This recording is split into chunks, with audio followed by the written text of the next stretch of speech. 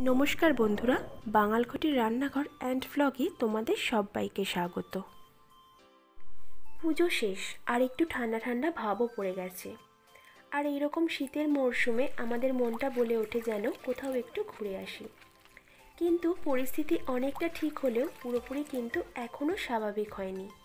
তাই আমাদের ঘোরার ইচ্ছে থাকলেও খুব একটা দূরে কোথাও কিন্তু অনেকেই যেতে চাইছে না। তাই কলকাতা থেকে খুব একটা দূরে নয় এইরকমই একটা ঘোরার জায়গার সন্ধান আজ আমি তোমাদেরকে দেব। জায়গাটা খুবই সুন্দর, ভীষণ নিরিবিলি। কলকাতার কোলাহল থেকে যদি নিজেকে কেউ দু তিন দিনের জন্য দূরে নিয়ে যেতে চাও, তাহলে এই জায়গাটা তাদের জন্য একদম পারফেক্ট চলো তাহলে ঘুরে আসা যাক।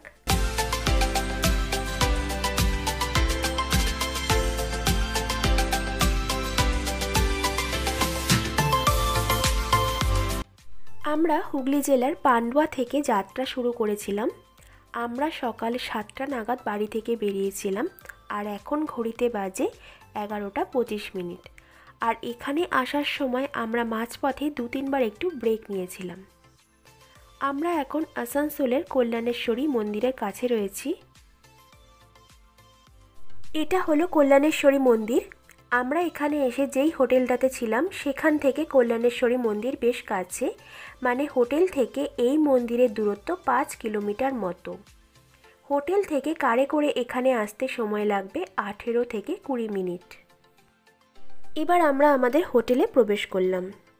এই হোটেলটার নাম হলো যাত্রী নিবাস, বেশ খোলামেলা একটি হোটেল। হোটেলটির সব রকম ব্যবস্থাপনা আমাদের কিন্তু খুব ভালো লেগেছিল। সবার প্রথমে আমি তোমাদেরকে এই হোটেলের রুমটা একটু দেখিয়ে দিচ্ছি। তোমরা দেখতে পাচ্ছ এই হোটেলটার রুমটা কিন্তু বেশ বড় আর বেডটাও খুব বড়। এটা ছিল এসি রুম।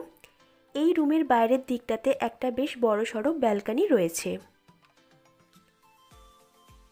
আর এই হোটেলে যে একটা ছোট্ট গার্ডেন রয়েছে, তোমরা সেটা এই ব্যালকানিতে বসেই কিন্তু দেখতে পাবে।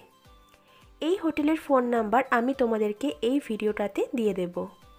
হোটেলটা যেহেতু বেশ বড় সড়ো, তাই কার পার্কিং করার কোনো রকম অসুবিধে এখানে নেই। কল্যাণেশ্বরী মন্দির ছাড়া এখানে আরও অনেক মন্দির রয়েছে, যেমন চন্দ্রচূড় মন্দির, ছিন্নমস্তা মন্দির। এই মন্দিরগুলোর দর্শনও তোমরা এখানে করে নিতে পারবে। যেহেতু আমাদের হাতে সময়ের একটু অভাব ছিল, তাই এই মন্দিরগুলোতে আমরা যেতে পারিনি। এটা হলো এই হোটেলের খাওয়ার জায়গা। নিজেদের পছন্দ মতো সব রকম খাবার তোমরা এখানে পেয়ে যাবে। এখানে একটা কথা বলে রাখা ভালো যে, কোভিড নেগেটিভ রিপোর্ট আমরা সঙ্গে নিয়েছিলাম, যদিও এগুলো কোনো হোটেলেই দেখাতে হয়নি। তবে আমার মনে হয় কোভিড নেগেটিভ রিপোর্ট সঙ্গে রাখাই ভালো, আর তার সঙ্গে যে কোনো একটা আইডি প্রুফ কিন্তু অবশ্যই লাগবে। হোটেলে এসে আমরা একটু ফ্রেশ হয়ে নিয়ে হালকা একটু খাওয়া দাওয়া করে, আমরা এখানকারই একটা সাইট সিন দেখতে বেরিয়ে পড়লাম। আমরা যে জায়গাটিতে এখন যাচ্ছি, সেই জায়গাটির নাম হলো সিধাবাড়ি। আমাদের হোটেল থেকে এই জায়গাটির দূরত্ব ছিল সিক্স পয়েন্ট সিক্স কিলোমিটার। কারে করে যেতে সময় লেগেছিল কুড়ি থেকে একুশ মিনিট মতো।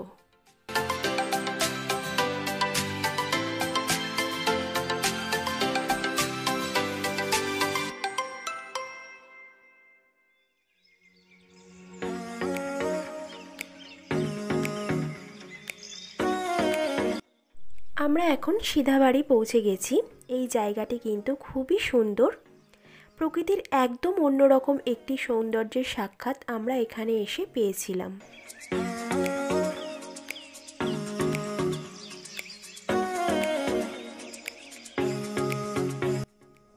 মনে হচ্ছে কেউ যেন প্রকৃতির বুকে রং দিয়ে তুলির টানে প্রকৃতির এইরকম একটা অপরূপ সৌন্দর্যের সৃষ্টি করেছে।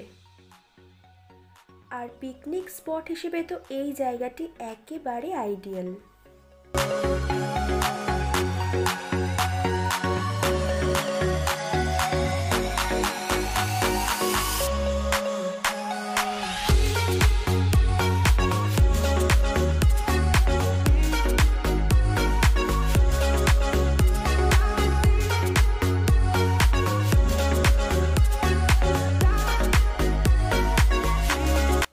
আজকে আমাদের ঘুরতে আসার নেক্সট ডে এখন আমরা হোটেল থেকে বেরিয়ে পড়েছি আর এখন ঘড়িতে সময় সকাল নটা বেজে পঞ্চাশ মিনিট। তোমরা হয়তো দেখে বুঝতে পারছ ওয়েদার খুবই খারাপ, বাইরে ঝিরঝির করে বেশ বৃষ্টিও পড়ছে। আমরা এখন যাচ্ছি বরন্তিতে। এই বরন্তিটা হলো পুরুলিয়া জেলায়।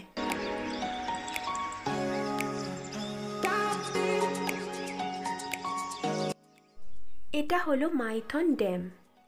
আমরা এই মাইথন ড্যামের কাছে বেশ কিছুক্ষণ সময় কাটিয়েছিলাম।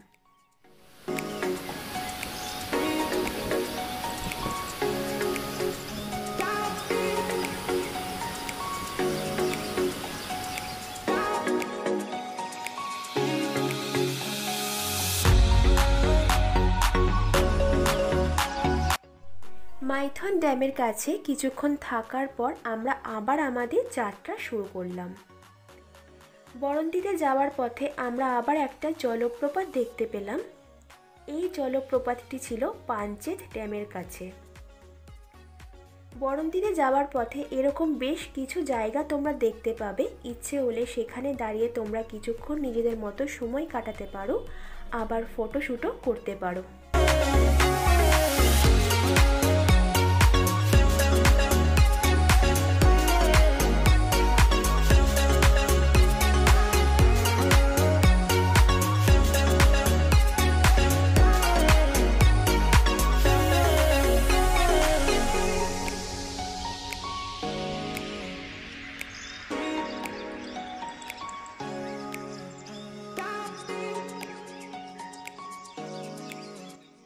এখন আমরা রয়েছি পাঞ্চেত ড্যামের কাছে। এটাই হলো পাঞ্চেত ড্যাম। কিন্তু বাইরের ওয়েদার প্রচণ্ড খারাপ থাকায় আমরা আর কার থেকে নেমে তোমাদের এই পাঞ্চেত ড্যামটা দেখাতে পারলাম না। তবে গাড়ি থেকে দেখে যেটুকু বুঝতে পারলাম যে এই পাঞ্চেত ড্যামটাও কিন্তু বেশ দেখার মতো। তোমরা হয়তো দেখে বুঝতে পারছ যে বাইরে কিন্তু বেশ ভালোই বৃষ্টি পড়ছে। আর বৃষ্টির জন্য বরন্তিতে যাওয়ার পথে আরও বেশ কয়েকটি জায়গা আমি তোমাদেরকে দেখাতে পারিনি। যেমন এখানে গড় পঞ্চকোট নামে একটি জায়গা আছে, সেখানে আমরা গিয়েছিলাম। কিন্তু বৃষ্টি এই সময় এতটাই জোরে পড়ছিল যে সেই জায়গাটা আমি তোমাদেরকে দেখাতে পারলাম না। যদি শীতকালীন সময়ে তোমরা এখানে আসো, তখন কিন্তু তোমরা এই জায়গাগুলো দেখে নিতে পারবে। কারণ শীতকালে ওয়েদার এতটা খারাপ থাকে না, আর এই জায়গাগুলো শীতকালে ঘোরার পক্ষে একেবারে পারফেক্ট আরও একটা কথা, এখানে না বললেই নয় যে, এই বরন্তিতে যাওয়ার সময় যে প্রাকৃতিক দৃশ্য আমাদের চোখে পড়ছিল, সেটা সত্যি উপভোগ করার মতো। চারিদিকে সবুজ গাছপালা, বেশ কয়েকটি ছোট খাটো মাঝারি পাহাড়, ছোট বড় বেশ কয়েকটি লেক। সব মিলিয়ে সত্যি অসাধারণ লাগছিল।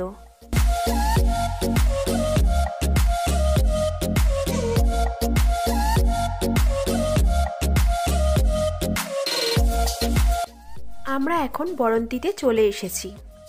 এটা হলো এখানকার হোটেলটা, যেখানে আমরা আজকের রাতটা থাকব।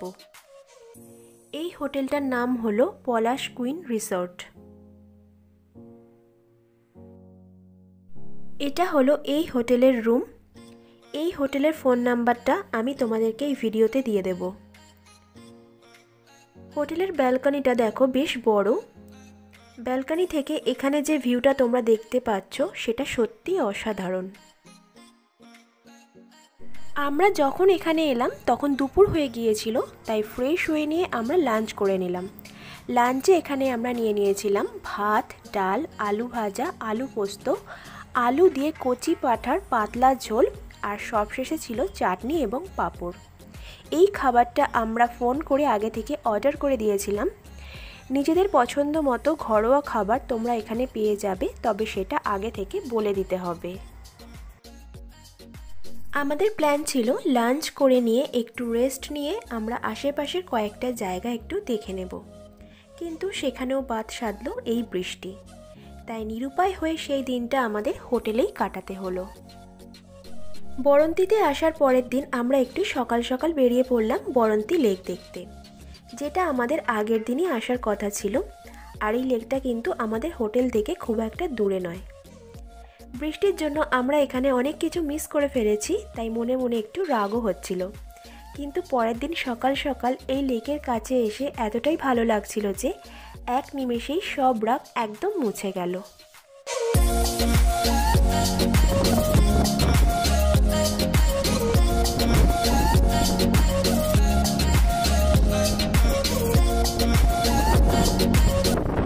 এই বরন্তি লেকের কাছে জনবসতি একদমই নেই তাই জনমানবের কোলাহল তোমরা এখানে পাবে না। চারিদিকে সবুজ গাছপালা, পাহাড়, বিভিন্ন রকমের পাখির ডাক, আর তার মাঝখানে এই বরন্তি লেক। সব মিলিয়ে সত্যি অসাধারণ। প্রকৃতির এই রকম অপরূপ উপহারের সন্ধান পাওয়ার জন্য কিন্তু তোমাদের এই জায়গাটিতে একবার হলেও আসতে হবে।